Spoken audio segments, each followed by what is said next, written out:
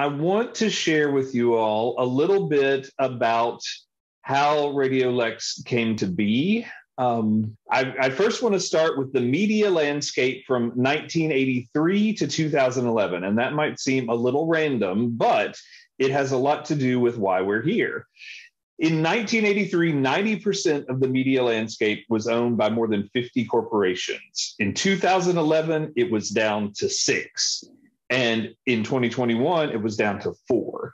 So, um, with with the consolidation of media, 232 media executives in 2011 controlled the media diet of 277 million Americans.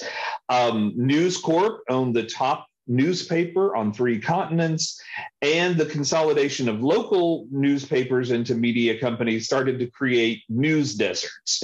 And, and we'll talk about that a little bit because it comes into play with a project that we have coming up this year. Um, when it comes to radio in 2011, Clear Channel and Cumulus terminated hundreds of, of live workers. They automated their stations in all the stations that they owned, they flipped a lot of the diverse uh, music genres to top 40.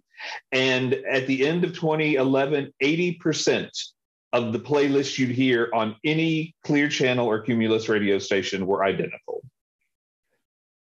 And uh, as that was happening in the background, these large media corporations were arguing that small independent radio stations were interfering with their big giants signals. And so they wanted to shut down the little radio stations. But the little radio stations fought back.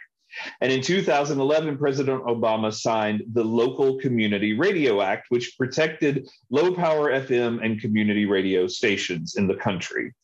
And that's sort of where radio lex enters the scene. Lexington finds its voice so Deborah Hensley, our founder, is former city council member. She had a nonprofit. Julie Butcher was an attorney in town, and they realized they could take this nonprofit and focus it on the creation of a community radio. And did I miss something? No. And then in 2013, the FCC opened a 30 day window for applications all across the nation. They had, I, I, forget how many they had. It was not uh, maybe 1,200 licenses available for the country, and you had 30 days to apply. And um, we are ex- extraordinary in the nation that we got two. We didn't just get one license, but we got two. Um, so Deborah hired Ernie Sanchez. He is one of the folks who founded NPR back in the 70s, and he's our attorney now. And then Cavell Mertz is an engineering uh, agency, and they they surveyed us to see what we could do in terms of radio signal, and that's what you see there.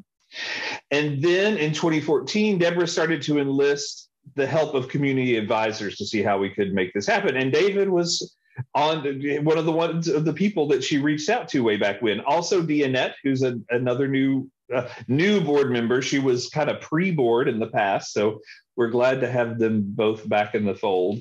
Um, but but it really was an effort to engage the community around this opportunity. Um, there were planning meetings held with groups of people to decide, okay, what should a community radio station be? What should it what should the content be? Who should it address? Who should be on the air? Then in 2014, an 18 month clock started to complete the construction of the first station. And Hap was the general manager who was hired at the time. Doug Collins was, uh, was and is our audio tech. He is um, he's built pretty much every radio station in Lexington, and he is he is a go-to resource for everybody. And um, after much searching, Deborah and the folks at BCTC came together, and we were able to install our antenna there, and that's what you see in those pictures. And then um, in 2015, we started to recruit the, the people who needed to be on the air because um, we were going to have a radio station. It was going to be 24 7. So, what's going to be on the radio? Who's going to do it? And so, we reached out um, throughout the community to find voices and folks to be on the radio station. What's happening? Okay. Then um, we found a place to house the radio station, and that was the STEAM Academy, which is the old Johnson Elementary building. And Lauren, I know you've been there. Melissa, you were in the basement. I don't know, David, if you were ever in the basement or not, but um, we we settled into the STEAM Academy, and then there was a, a press outlet to um, uh, you know generate a lot of press attention. And um, finally, on September 19th in 2015, the first station went on the air. We got our FCC license, and WLXL 95.7 was our first station, and then it was English. Now 95.7 is our Spanish station, but when it started, that was the English station. And then uh, about six months or so later in 2016, uh, WLXU went on the air as our second license as the English station, and El Pulso Latino, which was the Spanish station, goes on the air. And it was the first Spanish language station, FM station in the market. And for the rest of 2016, it was kind of like, let's let people know we're here. You see um, Deborah and some board members in Santa suits riding around. I think that was for the Good Giving Challenge. We did an event with HAP at Cup of Commonwealth. We got T-shirts made, and it was starting to raise awareness about what are we going to do. Um, in 2016, Chuck Clenny, who was a recent graduate of UK and had been the general manager at WRFL, was hired to help develop new programming and bring programming to the English and the Spanish station. Um, in 2017, there was an increase in volunteers, new shows. There's Rowena and Ben and Food Justice Radio there at the bottom. You can see Weta Michael had a show and Rona Roberts. Um, and Lexington community started to catch on and, and people started to listen and it became uh, started to become a, a community source of information. Um, it, it, towards the end of 2017, uh, Chuck decided that he was going to move to Japan to teach English, and he stepped down. And I had been doing some consulting on the nonprofit side of things, and the board asked if I would or you know consider coming on and i did and um, then I, in the fall, w- was able to hire Victor Palomino from Asheville, North Carolina, and then Mary Clark was already on board as our program director, and um, she is now the um, she's the sort of faculty advisor of RFL at UK. So we have a very close relationship with WRFL, which is UK student station and um, it's it's great to enjoy that relationship. Um, 2018, we really focused on growing relationships with strategic community partners. You'll see there we have Mayor Gray, uh, Rufus Friday, and Peter Baniak from the Herald Leader, Kevin Hall from the Health Department, Divine Karama, and Milton Mesa, who is uh, a recruiter for BCTC, and, and he is part of the Dreamers Coalition, an initiative of students who are dreamers. And in 2018, we created a three year strategic plan, which ended last year. So, part of what you're going to be doing going forward is helping us with our new strategic plan.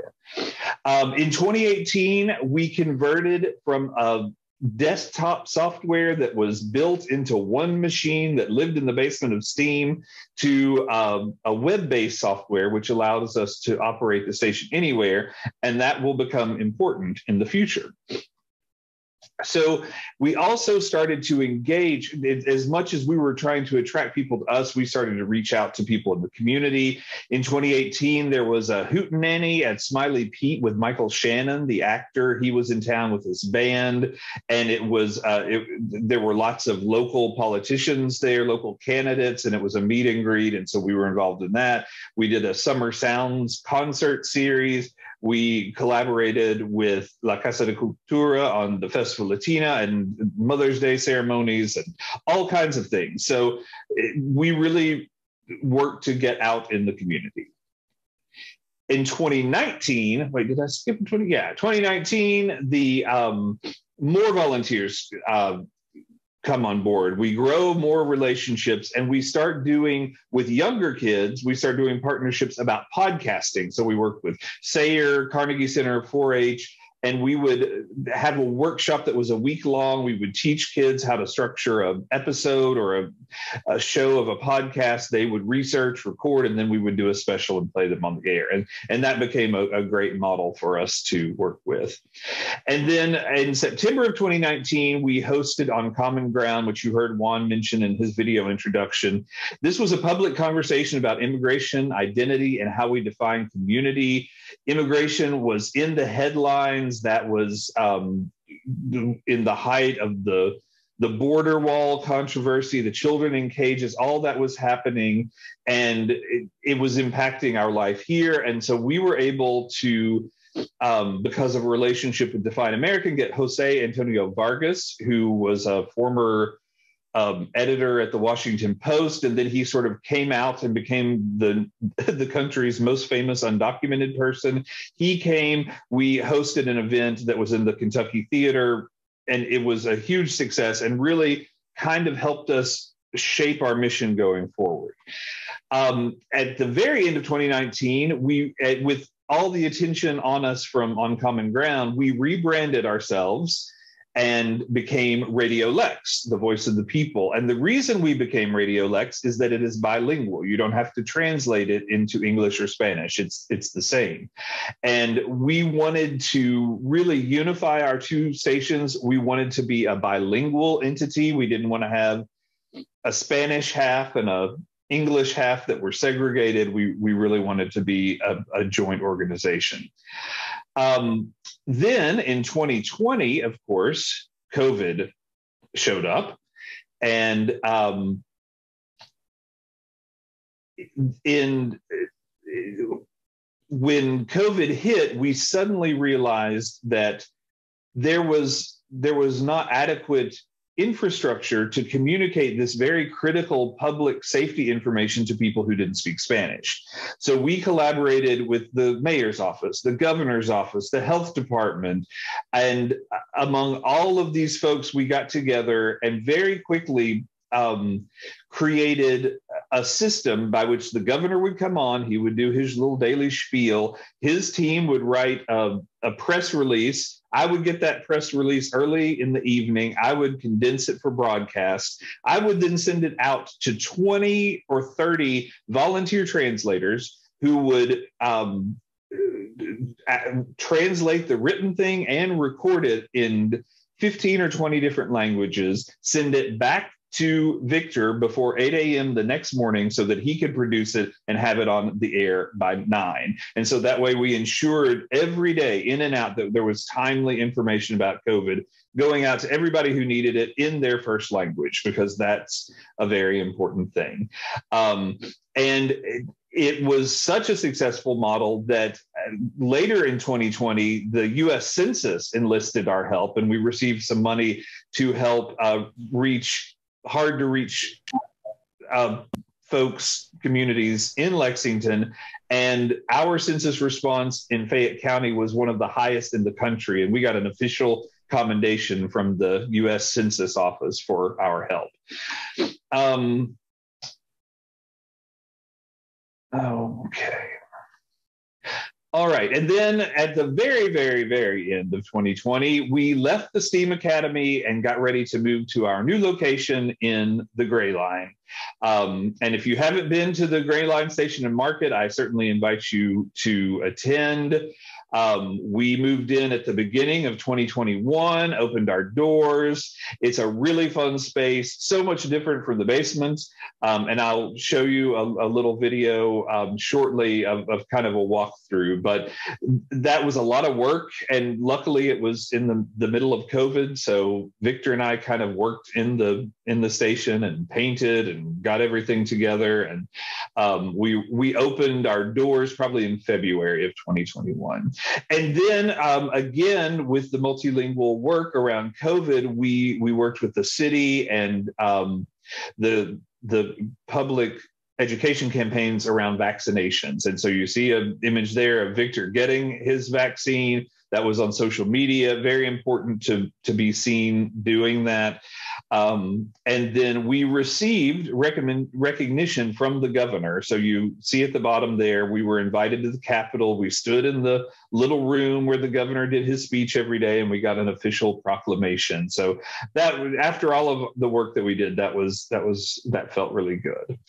Um, so looking forward, we are now in 2022. You are here. Welcome. We arrived. Um, going forward, we're going to be looking at a community newsroom project, which is going to take our multilingual outreach and and train everyday folks in the community to be citizen reporters who can report culturally competent news from their perspective targeted to their communities.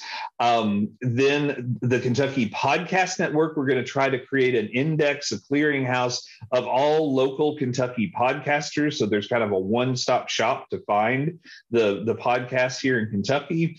We are going to hopefully develop our mobile app so that it's a little more engaging. Right now, it's pretty low frills. And then you all will be involved in uh, developing our new strategic plan. This year, we'll do a strategic plan, and that'll be for the, the future.